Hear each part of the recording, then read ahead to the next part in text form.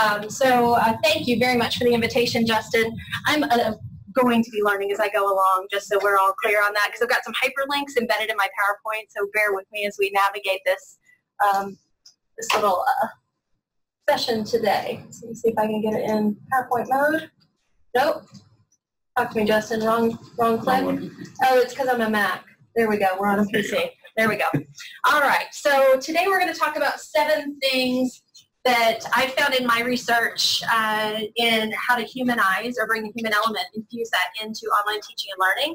And that might be anything from your presence to getting students engaged with each other or even taking them down that cognitive rabbit hole of sorts um, so that they can go deeper in their own exploration of the content, which can be messy and difficult and hard. Um, so all good stuff.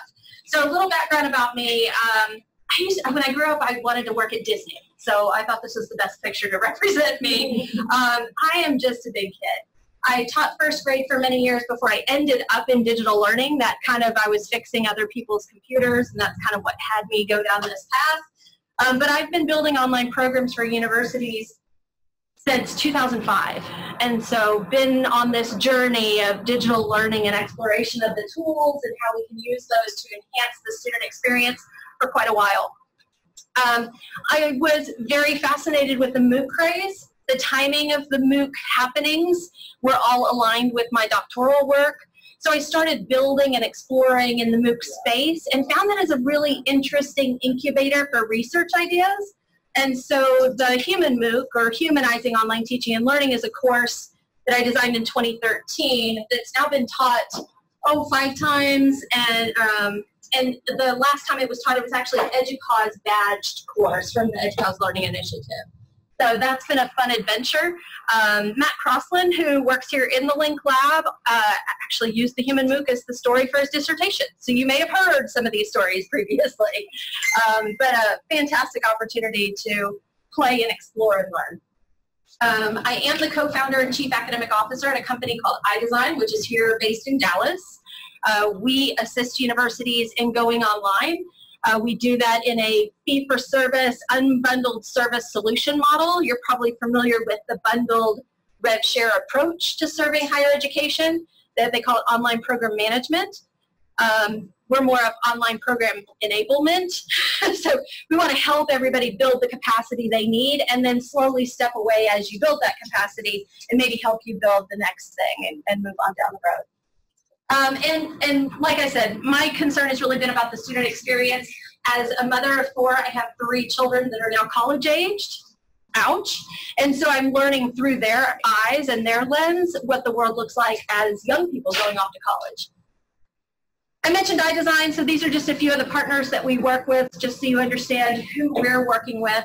Um, and, uh, and really, I think it's it's a mixture of really innovative, like a, a Southern New Hampshire who's doing a lot of competency-based education, the Mayo Clinic, uh, really one of the last fields to leverage blended learning is medical education and legal education. We work with Emory's Law School. Um, so a lot of really creative, innovative partners. Um, some of the solutions that we've put together, uh, like at the University of Mizzou, uh, we built their K-12 experiences that were being served up in Vietnam and Korea and Brazil. So we, are doing some really creative and, and innovative work. So as I was preparing the slides for today, um, I was reminded of my daughter's performance in the Cripple of Inishmaan. That is my daughter. I always like to use real pictures, so I don't have to use um, Creative Commons and all that, right? I took that picture, or a friend of mine took that picture, and um, and I was thinking about how human, how that touching portrayal of care and thoughtfulness comes across on their faces, that there's something genuine there. And they're actors, right? we do a really good job of taking care of our students when we're face-to-face. And I think we can do just as good of a job of taking care of our students when they're virtual. But we need a way to connect like that that's, uh, that's real and, and resonates with everybody. So the focus on humanizing is really to help counteract the distance and distance learning, to personalize the experience, to make it more relevant, and to leverage the technology tools. Because I, I mentioned I have been designing online programs for, what's it been, 14 years now.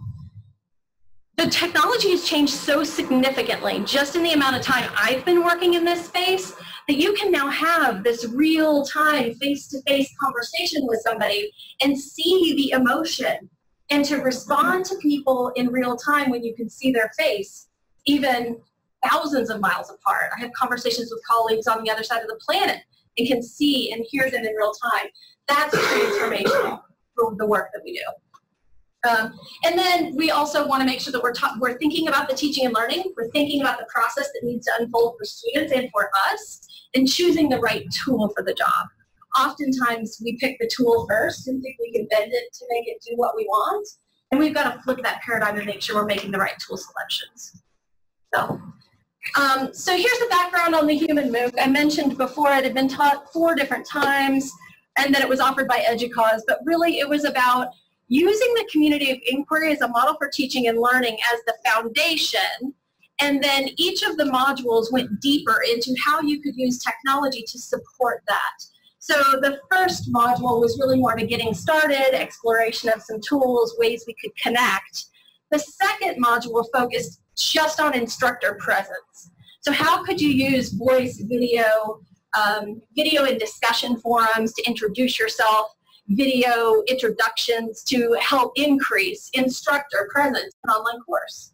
And then how do you take it to that next level with social presence? And how do you get your students going and engaged and move that forward? And then the final module was really cognitive presence and taking them deeper. And we had guest speakers like Jim Groom, who would talk about when the professor went missing in Digital Storytelling 106. And the whole goal of digital storytelling, DS 106, was to create these digital assets, GIFs and pictures and animations.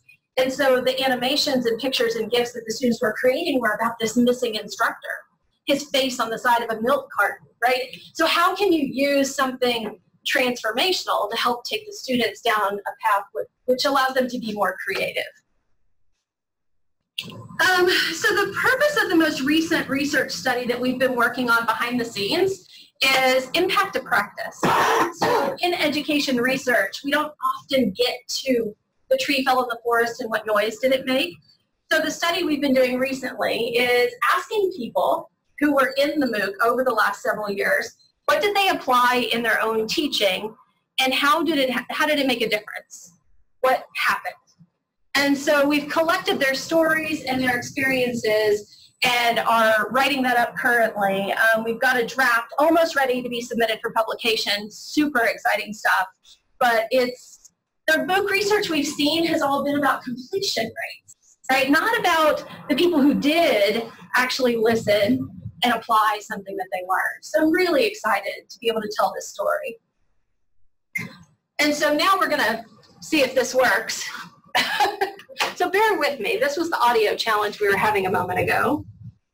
Um, there is lovely YouTube link, and let's see. Um, is Chrome best, Justin? Doesn't matter. Okay. Screen sharing is paused. Yeah, let's switch that. Let's bring the Zoom link over. Oh.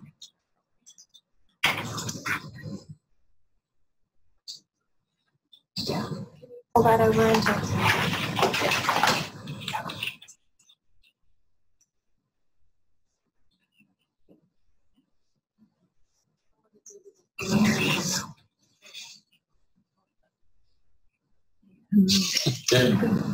So Kathy, I'm so glad you were able to join us, um, and I appreciate you running as fast as you did to be able to make it. Um, wonder, I wonder if um, you could explain your story. Um, you've told it to me before, but your story about uh, what Human MOOC meant for you the first time we taught it, or we were in it together. When I uh, first encountered Human MOOC, it was through a webinar that Michelle Pacansky-Brock had given, and she kind of was plugging it. And it just so happened at that very time, I was in a class on leadership and online education, and the professor disappeared. he was um, not responding to our inquiries. He was not grading things. He was not um, communicating with us in any way. And we, as students, had to decide what we were going to do about it. And um, we just really stuck together and made decisions about how we were going to work things out. And uh, it worked out, it, it, it just proved to me the value of the human MOOC um, course and, and what we were, were going through when, uh, when we were finished. Uh, of course, we had already talked to somebody about this situation, but um, I really pushed the human MOOC principles that I had learned through this course with um, my other professors. That's interesting you mentioned that. Yeah, so it's it's fascinating. Some of the people that found us, right, were these folks that were starved. They actually were wanting to learn and didn't have the um, the ability or the opportunity to do so. Um, could you flip us back to PowerPoint? There we go. So Kathy's story is not 100% unique. So we had a couple of other people who shared antidotes of a lack of communication or a lack of collaboration, that it was very much in their typical online learning environment, that it was consume content and produce or take a, a quiz or a test. And they wanted something more than mm-hmm. that. So that if the students are asking for it, right, that the, kind of our hypothesis was we should figure out ways to give it to them. Um, yeah. So we truly focused on experiences. What did we want to design? How did we want to reach folks? And what technologies did we want to bring to the table? And and one of our research outputs from this impact to practice study came down to some of the tools that we employed that I'll share with you today. Um, we actually have a piece of our write-up that we're doing right now that we're calling the Broken Bridge because we brought tools to the table that other people across the globe at all these different universities all over the world didn't have support for in-house. So one of the pieces of this puzzle is not just the right technology, but also the right supported technology. And I mentioned earlier, let's focus on teaching and learning before we pick a tool, but also choose a tool that's supported by your institution because otherwise there can be this technical challenge. Um, again, using a, a, photo that I took myself. So my, my darling youngest is starting color guard. She's a freshman at Claremont High School. And when I think about this quote from this student in the student MOOC and the fact that it gave them confidence, right? They had a safe place to practice. They were, uh, they were surrounded by their peers and colleagues, other people who teach in online, and they weren't in front of their students. They had a safe place where they could start exploring and practicing. And, uh, and so I often think of just the confidence that she's building in high school, right? And it's, it's the same thing regardless of how old you are. You want to be able to practice with your colleagues and your peers before you go try it out in your own classroom. So Human MOOC created that safe space for people to try things. And uh, let's see, here's, here's what they said. I think you tell students we're trying this or this is the time I've done this. As long as I was trying to do something with the goal being to humanize my class, to make it more real and relevant and engaging. We did have a couple of folks that we interviewed who said that as they were trying new things, they actually told their students they were trying new things and their students felt like they were empowered to assist them in being successful, which was also really powerful. So some of us need the safe space to incubate and think and try first. Others are, are more, I'll say, um, um, apt to give it a go. okay with trying something new and, and living on the edge of something more innovative or, or, and letting the students also help steer the ship. So depending on your comfort level, that works. Um, so the community of inquiry, have all of you run across the community of inquiry in your practice before? I know you have a whole career, right? so Peggy, maybe you take over at this point. Um, so the, the fundamental model that the whole course was built on was the community of inquiry as a model for teaching and learning. It's been around a long time. It's tried and tested face-to-face and online. This comes from some really wonderful researchers at Athabasca University where most all, you know, most innovation comes from, right? our friends to the north. And, um, and it's focused on instructor presence or teaching presence, I called it, because every time I said instructor presence, it got confused, or no, I said instructor presence, teaching presence gets confused because it's like you're supposed to teach it. So, um, so we called it instructor. But it's it's this combination of pulling together, having enough teaching presence that you establish the tone for the course, you form storm norm, you start to move things forward, but knowing how to pull back on teaching presence so that social presence can actually happen. Because if you bring too much of yourself to discussion forums, to the conversation with the, with the students, they won't actually engage socially. They'll start to pull back and defer to you. So there's a certain amount of that that has to happen. And then as they start to take on projects, they go deeper into the, the work that needs to be done, there's a delicate balance between checking in, giving enough support and feedback, and pushing them to go deeper when you know they can. And I think we all do that really well with feedback to students. So what we explored was how can we do that feedback differently utilizing the tools of today. So um, the course over time changed a few times, as happens. Uh, we, we taught it five times. It had to change. We had to touch it. Um, so we started with the uh, data from the 2013 course, um, we used the community of inquiry framework, and then we layered on the Penn State pedagogical competencies for online teaching success. If you're not familiar with those, those are a great resource of information uh, for any of you that are looking for another you know, avenue or track to discover and brought those together. And what we looked for was ways to tie the objectives with the weekly activities and the assessments so we could badge the individual pathways. So in the first iteration of the course, we didn't know what that looked like, but by version two, we were ready to deploy these badged pathways. If you'll forward. So this was taking every learning outcome and aligning it across some of the Penn State pedagogical competencies for online teaching success. And we cherry picked the ones that made the most sense without having to add another 26 competencies to the course. And then looked for places, did a little crosswalk alignment of where those um, pedagogical competencies were actually met with the different learning objectives in the course. Yes, ma'am. I just wondered, you're using pedagogy, but it, your audience base is adults, right? So is there a reason why you didn't use andragogy? Um, it's a good question. They are adult learners, but uh, I think it's just a mental block on my part because I started in first grade. um, also, when you go to look for the Penn State competencies, they're called pedagogical competencies. It's how it's, it's actually how it's published. They're different we, we, we draw on different things as adults. Yeah, I, I agree with you. I agree with you. Did you want to jump in? I was going to say, I think pedagogy sort of become like a catch-all term. Oh, is it? Um, I mean, I know Matt is on the call too. We can talk about it afterward too. There's, no, no, no. I mean, yeah, but, we've had a number of discussions about it. But I think pedagogy is sort of that. It's like you're thinking about the way. Okay, yeah. thank you. Because in you know some disciplines you you have to show that shift. Otherwise, they go, we're not children. Yes. Right. And and so it's good to hear that it's an overall framework. Thank you. It is. It is. Yeah, and it, it tends to be a catch-all, and you'll see it used across the board. Okay. Yeah. Thank you so much. Yeah. They're not called the Penn State andragogical competencies. So. Yeah. Yeah.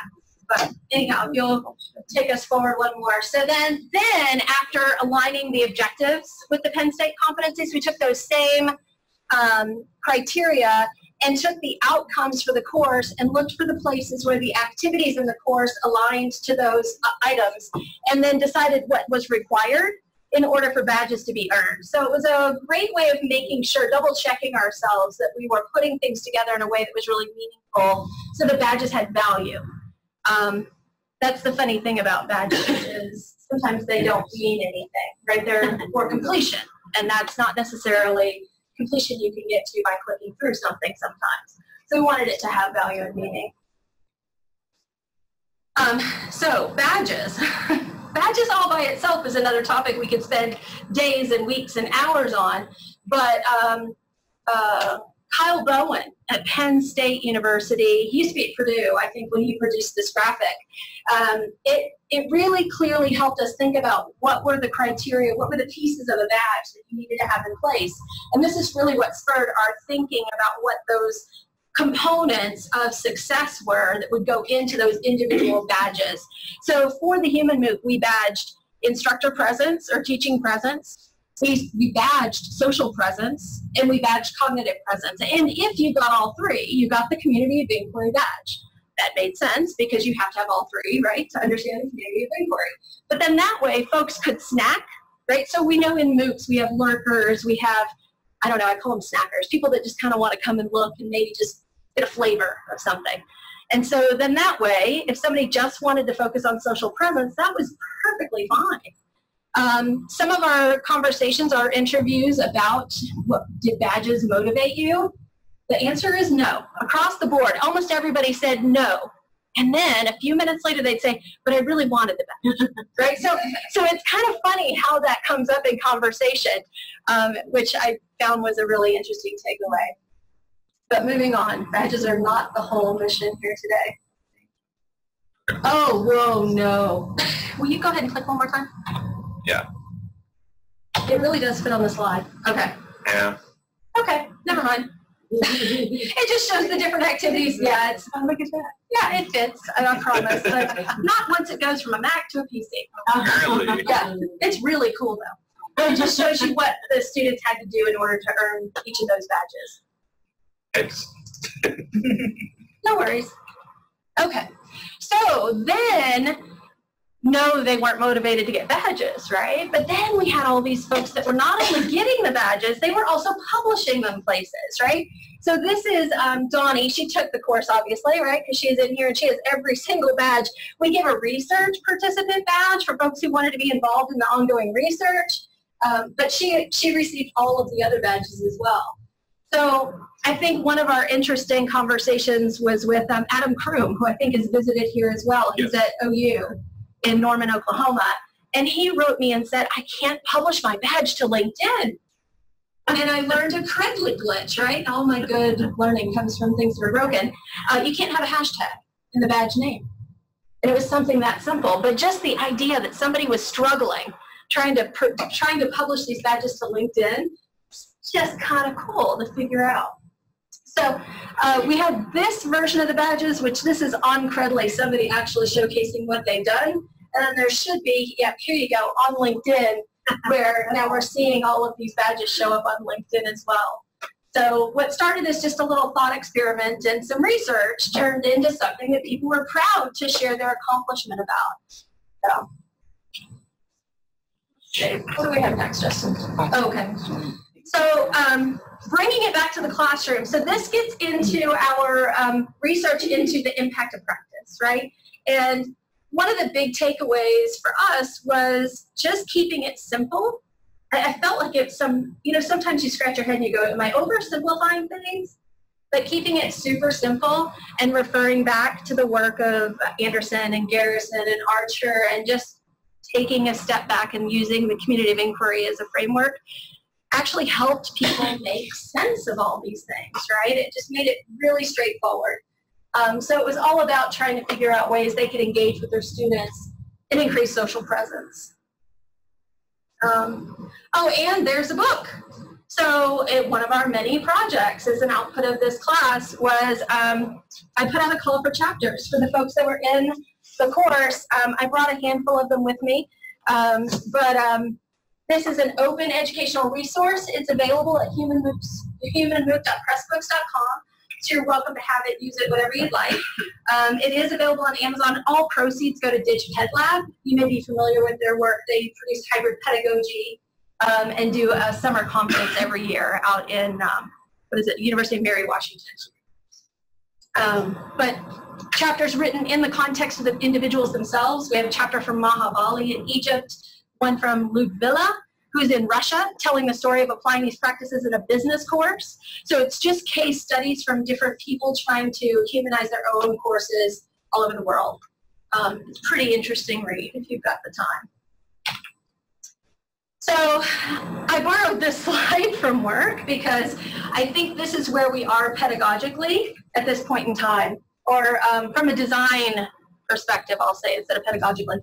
Um, what we're often trying to do at the beginning of any project is really kind of understand the students, get grounded in what their needs are and where we can actually make a difference, because that's what we all got into this business for, is to make a difference. Um, we help define what that solution set looks like. And then we've got to go and look for the best of the open web, the best open educational resources and bring those to bear before we go and build things from scratch anymore. Um, the web is vast and so many people have done so many wonderful things, right? So we, we should build upon that body of knowledge. Then we start developing things and testing them. And I think I think the real magic happens on this side of the line because I don't think of this as learning on the part of the students. I think of this as learning on the part of the faculty too. And that evolution of what we do, I mean, that's something that I think, I think back on the human MOOC experience. Each time we taught it, we tried to bring something new to the table to explore and to challenge ourselves, much less the participants. And that, that iteration on design allows us to try new technologies, new methods, new ways of reaching students. So that's really where the magic seems to happen. And then I love this because don't we always um, design one way and it goes another. So that iteration is really powerful in, in order to allow us to continually update, change, and, and modify.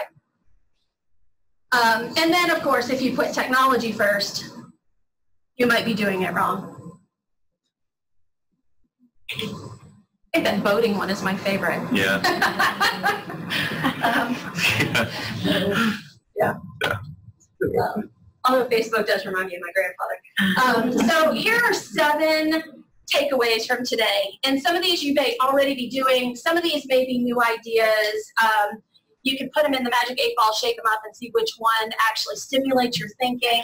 But we're going to talk a little bit about establishing instructor presence, trying to use video in your online teaching. I know you've probably heard a lot of that from Peggy. I see what she's sharing. Um, connect with your students before class. Something as simple as an early announcement or email that goes out to get them engaged. We'll start that instructor presence and social presence piece pretty early. Using video discussions, you're getting ready to move to Canvas, or some of you already are moving to Canvas. You'll see that the video tools inside Canvas they can be used anywhere content can be created, can be pretty powerful, um, pretty low tech. I do a lot of grading from my iPad using SpeedGrader and using voice and video comments are great.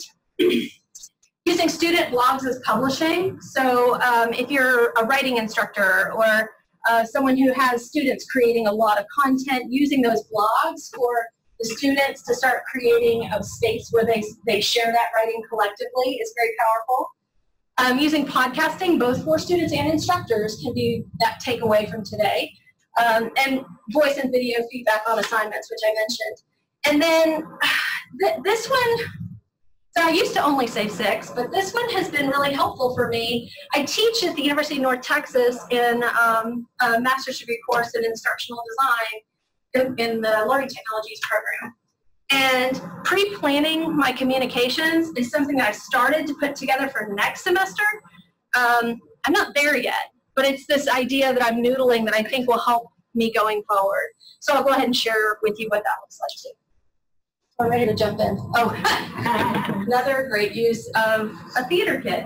So um, yeah, that's a lot of things to try to take on. So don't try to bite off all seven ideas today. Um, I see that face all the time. All right, so now Dr. Chuck shares a story about instructor video. If we can grab that. Thank you. It's only about a minute and a half long.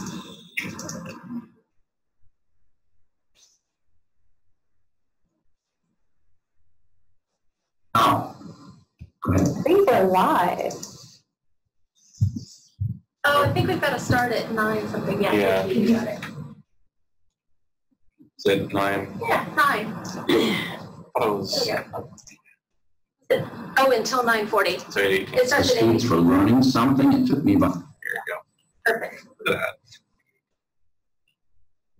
so I was having so much fun and, the- and, and the- that you just showed was me in the studio. We built, the had the studio and people filming me and I, I- they were using my software to produce all the media. And it was just the funnest thing in the world. And, and, and then at some point I got good at it and the class was good and the students were learning something. It took me about a year and a half to get the class right, like the third time I did it. And I realized like, crap, this isn't so fun anymore. It wasn't fun making it, but it wasn't fun just running it because I never saw the students. And um, I, because I was so freaked out that they were so happy and I wasn't on the midterm exam. And um, I thought, I want to see my students. So I was forced a face-to-face midterm exam. All my students were on campus at this time. I more like they stream it on campus. I really wasn't outreaching because it was a four-credit class, a class for credit. And um, so I said, you have to come to as if that was a security thing. I didn't care about security. And then it got worse when I gave that exam because they walked in and they already knew me. They knew my jokes, they knew my personality, they knew everything because I put that all into the class. And I didn't know them. And I felt really bad because I didn't know them. And they, were, they felt I should know them, right? And that was the last time I ever taught that class. So one of the other stories he shares, um, it, it's fascinating to hear him tell the story of not knowing his students and bringing them in. But one of the other stories he shares, because he's been doing video for a really long time. Um, as a matter of fact, he was kind of the first person to ever do video on the web. Um, but one of the stories is all about the difference between Jimmy Kimmel, is it Kimmel or Fallon that challenges people? Does anybody know or care? No? Okay. So I was like, I don't, even, I don't even know. But one of those Jimmys that does late night talk shows, um, he talks about the difference between that guy who always challenges everybody and has to be better than them. He sings with them and he's always trying to win. Is it Fallon? Okay. Um, versus being Johnny Carson. He said Johnny Carson was just this really approachable guy he made mistakes. He said things that were silly. He let animals crawl all over his head. He was real. He'd drink his coffee and talk to people. He said, that's who I want to be. I don't want to challenge people to be better than them or to show them that I'm smarter than them. I just want to be real. I just want to connect with students and make a difference. And I thought that really, that for me really resonated tremendously as well. So um, one of the things about doing a course like this was it gave us an opportunity to talk to all these really cool people. Um, we would schedule weekly Google Hangouts that were focused on either instructor social or cognitive presence and bring in guest speakers from all over. You probably recognize Matt. Matt, wave to yourself. Um, I think he's on remotely. Um, but, um, but we had the opportunity to really get to know some of these individuals that are doing incredible work in our space. So it was a great adventure to be on the side of creating this and putting this together for other people. At the same time, it was just super awesome to hear the student feedback and the research that we've been doing. Um, then if we'll go forward. Okay, so here we go. Announcements, email, or video welcomes. This is the second piece. The first one was do a little video, introduce yourself, be authentic, be real, let your cat jump up on your lap, drink your coffee, be Johnny Carson, not Jimmy Kimmel. Oh, Fallon. Okay. Um, but the other is just to introduce yourself and your course early and to get your bluff in. Right, as my husband says with the kids, as we were raising them, hurry up and get your bluff in. She's almost two, you know. so, um, but it's it's really helpful to give them some hyperlinks, some things to read, some things to explore. Your type A students that are positive, they're going to get an A in your class, will appreciate all the extra opportunity they have to be ahead of everybody else because that's all they want. And then your folks that maybe are a little bit slower to get online, maybe they don't even have their book yet, or they just registered yesterday. It gives them a way to wade in the deep end of the pool before the course actually begins. So if you can get this out a week or two before the course even starts, depending on when you know your students are in that class, that can be incredibly helpful to set the tone.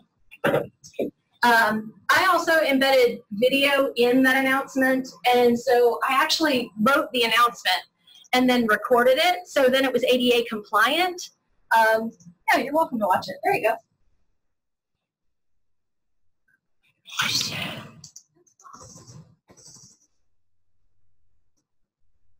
Hi, everybody. Welcome to Human MOOC. I'm Whitney Kilgore, one of your course leaders and a PhD student in learning technologies Oh, at the. University of I'm sure. Texas. I'm joined by Dr. Robin I was, um, using my soft voice Thomas, right there. Maha Of us will serve as your course wayfinders or your guides on the side for the next four weeks. We're glad you've joined us.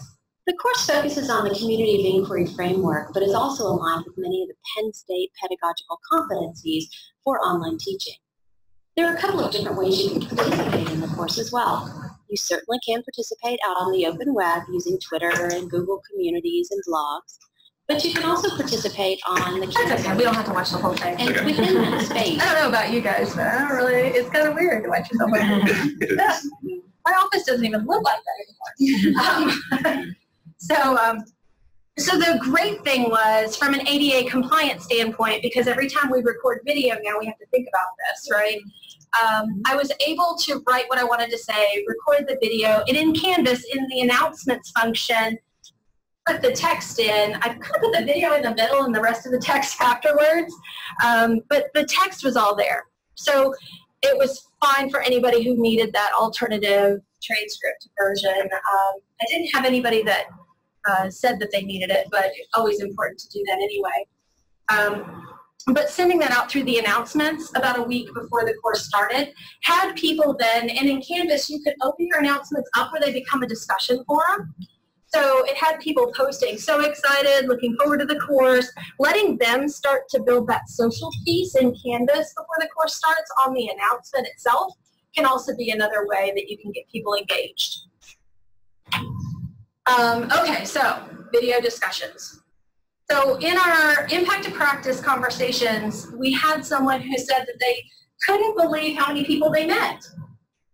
People they already knew from digital learning communities in this video-based discussion forum. So that was kind of cool for them. In my own class that I teach at UNT, we do the same thing. We have a video-based introduction discussion forum. Because at the beginning of a class, I like for folks to be able to introduce themselves. However, if you do a video-based discussion introduction at the beginning of every or at the beginning of every course in a program of study, that can get tedious, right? So um, I would say as a program, you want to look at mixing it up. There's lots of icebreaker ideas that you could share across a program or study across the faculty so that each of those introductions is somehow different or unique. Having been in a couple of programs myself, I can tell you, when all you do is introduce yourself, you start getting good at keeping it in a Word doc and copying and pasting it in the next semester, right? So, um, so look for ways as a program or a department to be creative so that those aren't repetitive. And if you do, yes? No, no, go ahead. So there's this, this connects to what you're saying, but it's, it's a little, little off. There's this debate about high-end versus low-end real-world video production quality. Yeah. So when doing something like this, uh, you know, a lot of us have no budget to do low-end, walk the webcam on, Yeah. or even do cell phone. Yeah. What are your thoughts on that? So um, this is recorded for all posterity. I think MOOCs have done a wonderful disservice um, to online education by making people think that they have to have Hollywood-style video in order for learning to occur. Um, if, if we watched all of Dr. Chuck's interview, which you can go back to on YouTube, um, he talks about the importance of being authentic and real in the video the cat jumping on his lap, him picking up his cup of coffee, and he's on Coursera. He has taught, I don't know, over a million students already. And his videos aren't high quality in the way we would think high quality. But his students feel they're high quality because they meet their needs and they resonate with them. So um, I actually think, you know, professional dress in your home office, um, all of that is just fine. Cup of coffee or water or whatever your jam is, just fine.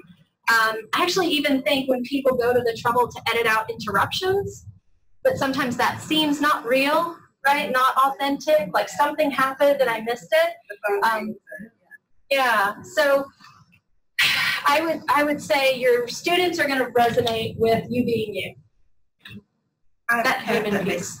appearance on one of mine uh, that was voice over, I was voicing or something. Yeah. And so after students always emailed me about the cat, I started just posting the picture of the cat. Nice, Because I always got five or six emails, was that a cat? nice. Cat Did you hear that, class. Peggy? The cat is getting rave reviews. Cat got Yeah. more emails than I did. My students know my dog. Yeah, Dexter needs to be famous, right? I mean, he should be in all the videos. Yeah, yeah.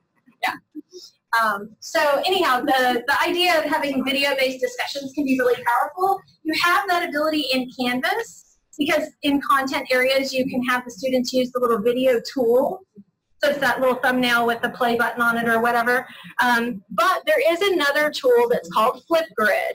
And if you want to advance, I think that's, yeah, so never mind. Here's, um, here's the one in Canvas. So I actually have them use the little film strip icon on the WYSIWYG toolbar and do the recording of the video in the discussion in Canvas. And we did this in the human MOOC as well. But then if you'll go forward, Flipgrid is a tool that I absolutely love because it's mobile friendly.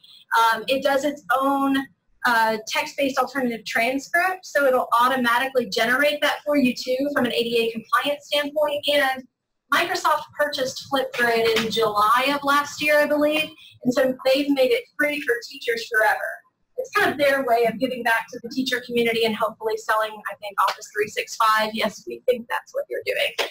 Um, and, uh, but it's a fabulous tool, very engaging. Students tend to love it. And depending on whether or not you're in teacher education, anybody in teacher education, in teacher ed, Flipgrid's taking off like a firestorm in K-12.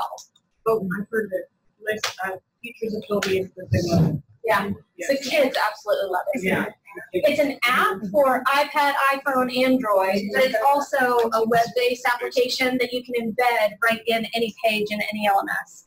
So embeds in Microsoft Teams, so we can have that out there more since all of our students have Teams. There you go, and it sounds like it's probably supported because it's a Microsoft tool. Um, so I love it for that reason. Um, if you'll skip forward. Um, so this is actually in the human MOOC. So this is a screenshot of the participants leaving their stories of how they implemented different social learning practices in their own courses. And so I just grabbed a quick screenshot. It's really phenomenal when you can just click through and hear all the stories that the different people have to say about how they're creating these social learning experiences. So that's always, I love this tool for that reason. And, um, and then here's the transcript piece, right? So um, Sue's response, it, it came in and it automatically generated the transcript. And then you can go in and you can actually kind of go in and edit it. If it doesn't capture something correctly, sometimes it's um, pronunciation, sometimes it's an accent, but certain things will pick up wrong, right? It happens when it's machine created, but, but I, I found that to be really helpful um, in order to make sure that things are accessible. But of course, it's mobile friendly too. So there is an app for it, and you can launch it right from your phone. So as long as you know the Flipgrid code, you can actually be walking around and talking and doing that, which is kind of nice. Um, I recorded one of my questions outside on the back porch, you know, just to have a different surrounding. So I've got the pond behind me, and it's just, you know, less officey. So, all right, moving on to number four. Wow, we're we're almost out of time, Justin. um, so blogs as student voice. Um, I will give a shout out to Laura Gibbs, who was a big part of the humanizing course, is very well known in the blogosphere. She's a writing instructor at OU in um, Norman, Oklahoma, but she's hails from North Carolina. But fabulous individual in having her students start to share their work collectively and having the students comment on each other's blogs so that their writing can continuously improve. Um, if you don't know her, she is Online Course Lady on Twitter, if you want to follow her. Um, she uses a tool called Inoreader to embed her blogs in Canvas. You may want to write this one down. It's worth your time in exploring, um, but it allows you to automate that blog roll right in your Canvas page with some embed code. Everybody's got it written down? Okay. All right. Um, oh, and she does say that she's happy for people to contact her with any questions. so um, if you are connected with her on Twitter, you run into any trouble using Inoreader, she's there for you to, to reach out to and support. And Justin and Matt probably love Inoreader and are helpful in that regard as well. All right. One of the other tools that I liked for blogging and sharing blogs, and this gets used more so in the K-12 space than it does in higher ed, is a tool called Symbaloo. And it creates this kind of dashboard effect. These are all the blogs that people wrote on the Human MOOC or wrote during the time they were learning about the Human MOOC. And so we dropped those into Symbaloo. So then it becomes a launch pad, so you can click any of those buttons and go straight to that person's blog. So when you start thinking about how you want to bring all that together in your own course, that's another tool other than Inoreader that might be useful to you. And um, for those of you that were K-12 centric in the back of the room. You may like that one. Uh, quite popular in the K-12 space. All right, and then blogging in general. So I grabbed a few screenshots from some of the blogs that people wrote during the course. Um, and I, I do love, I'll share the slides just to share them out, but I do love hearing the stories of the individuals that are starting to get, get engaged in the course. And, uh, and I know exactly who this one is, right? So Helen DeWaard's blog is at the bottom. You can click that link and go and see all of her learning. She's very good about making her learning visible. Um, how is week one going? Um, I need to take an online class if I want to teach an online class. That was one of her big takeaways, which I liked. Um, and she wanted to figure out if online teaching was really what she wanted to do. So we get to the why, which was kind of fun. Okay, number five five, six, seven. We can do three in five minutes, can't we? Okay, podcasting, vodcasting, and blogging. So um, I think you've got a champion for that right here in the room. I know uh, Peggy has an extensive background in this space with a YouTube channel with how many views now? Like two, almost two million. But there's really, it's been haphazard. So I'm thinking if I can be more strategic and professional just a little bit, I can do much more with it. There you go. So, so keep an eye on Peggy because she's going nowhere but up from here with 2 million views. Um, podcasting can have a variety of different looks and feels, so it doesn't always have to be podcasting to get on the iTunes podcast list, right? It can just be podcasting for your students in your course. So this is an example of a podcast that's embedded right in a course in Canvas, just using SoundCloud as the tool. So that's one really easy way that you can just create an audio file on your phone and then upload it and share it in your course. Then having students create podcasts is even more compelling. I love students as producers. So think about ways you might engage your students in creating a podcast about what they're learning in the class, even if it's just a reflective activity where each week they're, they're creating one three-minute segment to talk about what they learned this week, at least it gets that reflective practice down for them. And then one of the things that magically happened um, during the course as we were going through it, I think this was like the third time, um, is social learning started happening on its own on Hangouts. We had been modeling this and doing this with thought leaders and others, bringing them to the conversation to come talk to us about particular topics. And then all of a sudden, the participants without any of the facilitators or any of the um, presenters coming together, the students started having their own Google Hangouts to talk about what they were learning. Maybe that's something you could encourage in your own class, is to get your students getting together on a weekly basis. Maybe you're not having a synchronous meeting every week, or you are, but maybe they are, just them together. Because all learning is a conversation, or at least that's what Laura said, right? If they're only talking to themselves, then that conversation is happening in their head without thoughts from others. So think of ways you could get your students to begin to have those conversations together. Um, and this is another example where Amy led one. Um, Amy's at, uh, she's in North Carolina at the University of uh, Wilmington, North Carolina, Wilmington, and led one of these get-togethers with the group trying to share their stories. And then this video um, is really long, so we won't do this. We'll keep going. But if you want to hear the stories from the participants themselves, this is just stitched together uh, several minutes of different stories from different participants. Okay, so six and seven, still to go. Voice and video feedback. So in your speed grader in Canvas, you will have a couple of new options. Um, one is voice and video feedback where you could just record live.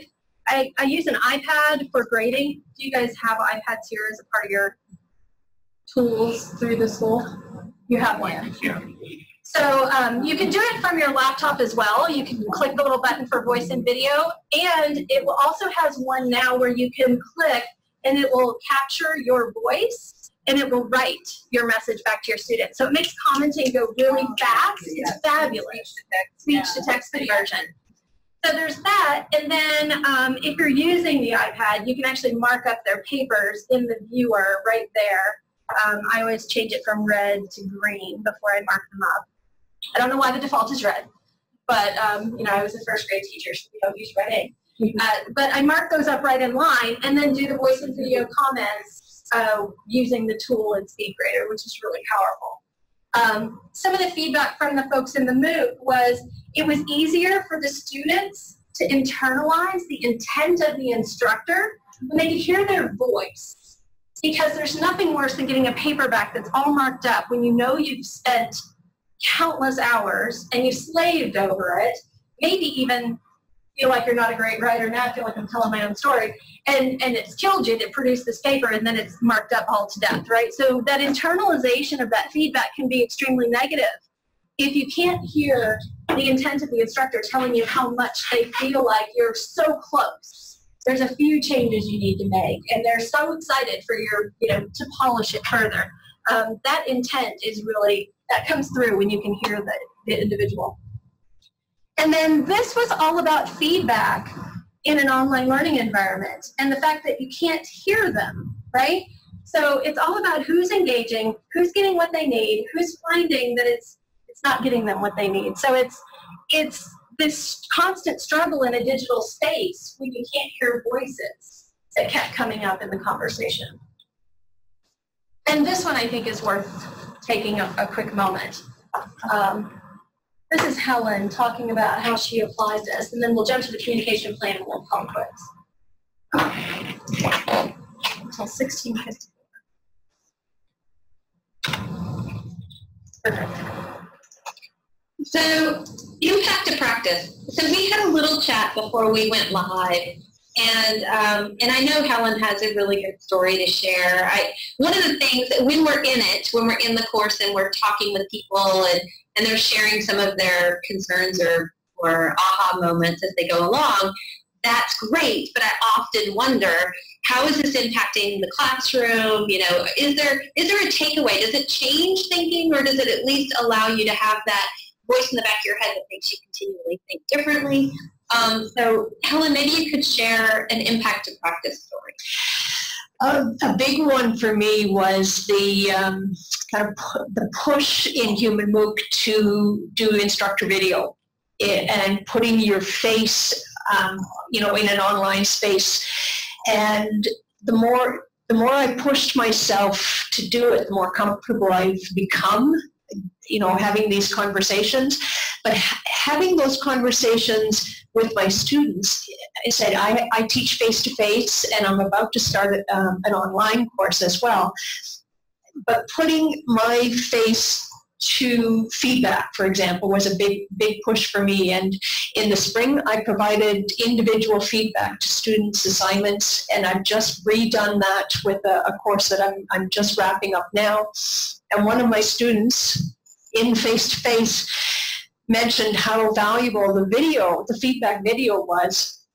She's been watching it over and over again just to make sure that she's addressing in the assignment everything that I I mentioned, you know, that she could consider tweaking or consider doing or, or you know, things that, that um, could be improved in some way. So just, it, that was for me the, the impact of the video, put, putting my face out there on video and, and using video to support student learning. Thanks to Helen.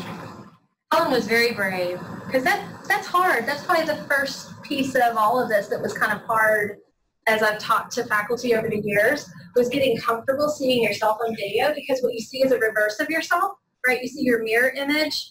Uh, your voice is different because when you're speaking, there's vibrations in your head so you hear your voice differently. So then who is this person that's looking at me that's telling me the same thing I just told to the camera? It's it's a little off-putting at first, but once you get comfortable with it, it can really be powerful.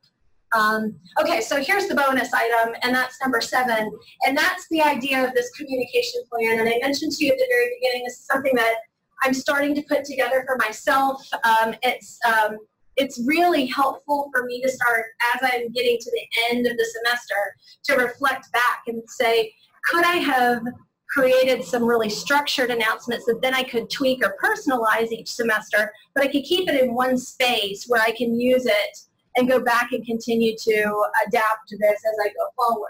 So I'm actually starting to pull some of my messages from my announcement section in Canvas back into this document so that it becomes this living, breathing launchpad. So each one of these hyperlinks to a different Google document that has the message that I would drop in at that point in time in the course. So it becomes this kind of Launchpad again. It looks like a lot of the other screenshots that I've shown you, right? Like Symbaloo and other things. It's just a way for me to visually find the pieces and parts of the different. Did you share that? Share that. I'd be happy to. Okay. Yeah.